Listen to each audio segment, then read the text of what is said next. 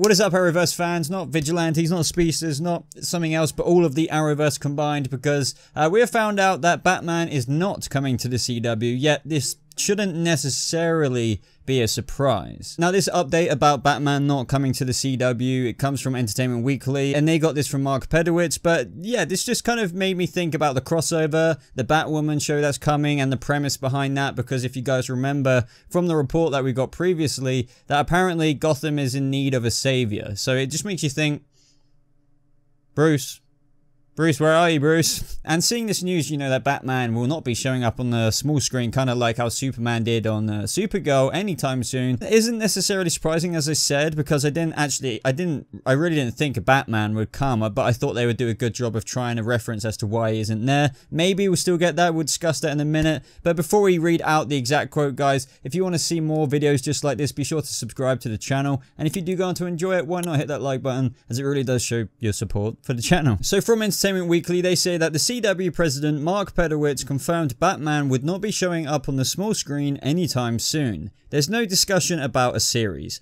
Batman already exists in the Arrowverse because last season Oliver Queen mentioned his name at one point, and Batwoman, if the series goes forward, lives in Gotham. There's no plan at this time to have Batman appear. And that's it.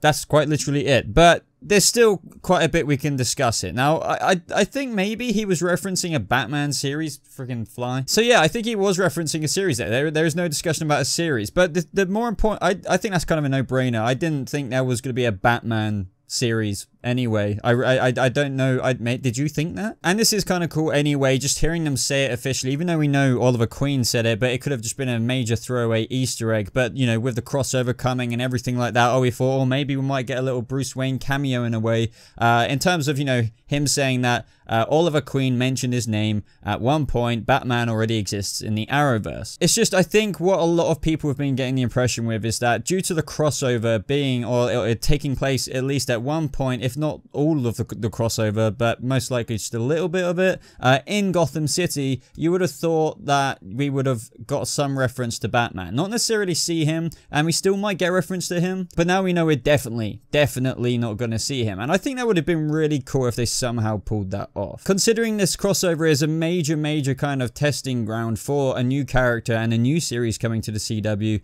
uh, Batwoman, uh, you just would have thought that they would lay down some groundwork potentially with Bruce Wayne. And as I mentioned earlier, the biggest issue I have is with the synopsis of Batwoman. Uh, it's just the fact that they say Gotham is in need of a savior and, you know, blah, blah, blah. I'm paraphrasing here, but they did say, like, Gotham doesn't really currently have a savior. Like, where is the Batman? why is he around? Do you think this statement from the president of the CW uh, means that we're not even going to get any references? I think they definitely have to be careful because it's kind of like, you know, how Gotham can't use the Joker or certain characters are kind of in a gilded cage for the movies in a way. They don't want to use you know Bruce Wayne or like Batman, uh, in particular Batman on the CW or shows that are you know on the small screen, just in case. I think it's really important though that we get a bit more than a sentence maybe during the crossover. I know that is kind of considering myself lucky there, but I feel like we need it. I feel like we need to know why Bruce isn't around. As he decided to do the Dark Knight Returns and just go after freaking France or wherever freaking Christian Bale went or something like that, or is he just